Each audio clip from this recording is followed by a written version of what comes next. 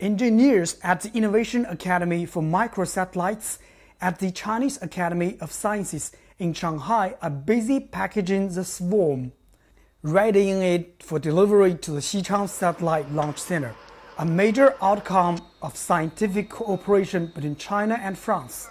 So we can say that this mission SVOM will take the hand in order to study the gamma ray and to and I think that we can say that it will be one of the most advanced missions for the scientists. The China National Space Administration and the French Space Agency approved the SVOM mission in 2006.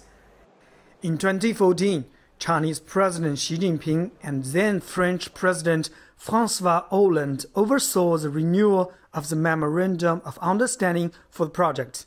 从卫星的系统到卫星的研制，到地面系统的研制，以及对卫星的运行操作，在每一个层上都有中法合作的身影，都是一个紧密合作，呃，是一个统一的团队。Equipped with two French and two Chinese scientific payloads, the satellite is designed to assist research into the origins of the universe. Space technology is an area of close cooperation between China and France. The first jointly developed oceanographic satellite was launched in 2018. The SVOM satellite represents a new chapter.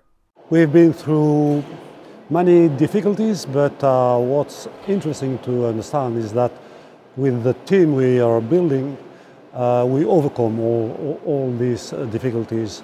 And uh, what we can say that uh, the team is unique. It's a French and Chinese team.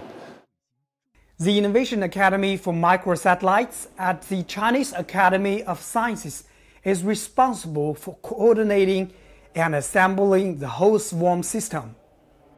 我们还培养了一大批的在一线的，我们搞空间科学的，搞卫星平台的。搞系统设计的一系列的这样的一个技术的人员，这我想也是中法合作一个很重要的这样的一个一个意义。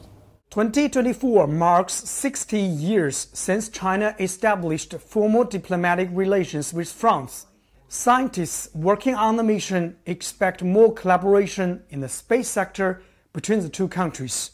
The SVOM satellite will be delivered to the Xichang Satellite Launch Center for further assembly and tests. French and Chinese scientists are expecting a successful launch around the middle of the year.